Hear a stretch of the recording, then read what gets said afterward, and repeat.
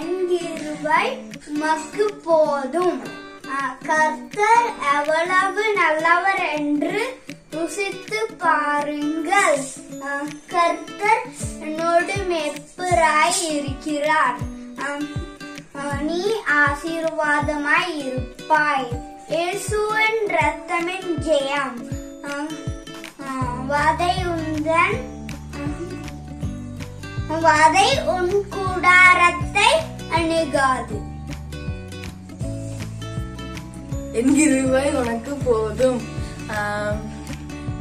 கர்த்தர் எவ்வளவு நல்லவர் என்று ருசித்து பாருங்க கர்த்தர் உன்னோடு மேப்பீராய் இருக்கிறார். உம், நீ ஆசீர்வாதம் இருப்பாய். இயேசுவின் ரத்தம் ஜெயம். வாதை உன் கூடாரத்தை அணுகாது. ஆமென்.